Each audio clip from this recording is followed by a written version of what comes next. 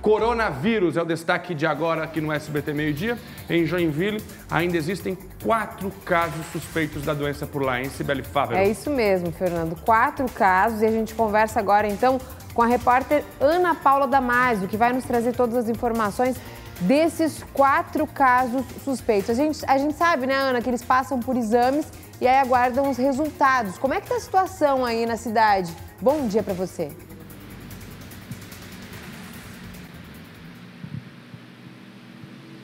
Bom dia, Sibeli. Bom dia a todos que estão acompanhando o SBT. Existem ainda quatro casos suspeitos né, de coronavírus aqui em Joinville. Os quatro pacientes aguardam em casa, em isolamento, a chegada dos exames e também o período de incubação do vírus, que é de 14 dias.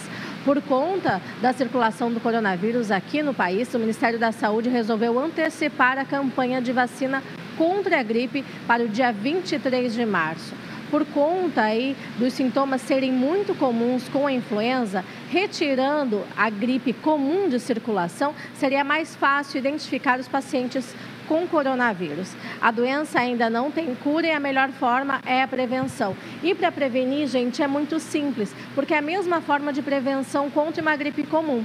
Você precisa colocar o antebraço protegendo o nariz e a boca na hora de tossir e espirrar, também evitar compartilhar objetos de uso comum, como toalhas, copos, talheres, e também usar álcool em gel, viu? Voltamos com vocês aí no estúdio. Obrigada, Ana, pelas informações. Portanto, quatro casos, então, suspeitos na cidade sendo monitorados. É, preocupação ainda, mas sem alerta, tá? Sem aquele alerta todo.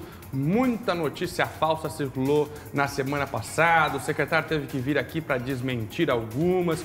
Máscara ainda não é necessário, nenhum caso confirmado da doença em Santa Catarina. Vamos acompanhando de longe, com as antenas bem ligadas, mas ainda sem alarme sem pânico para Santa Catarina. Aproveitando, Fernando, é bom que você tocou nesse assunto, só para que as pessoas consultem sempre o site oficial. A gente já falou aqui, é o site do governo mesmo, né, da saúde barra coronavírus. E aí ali tem as informações oficiais.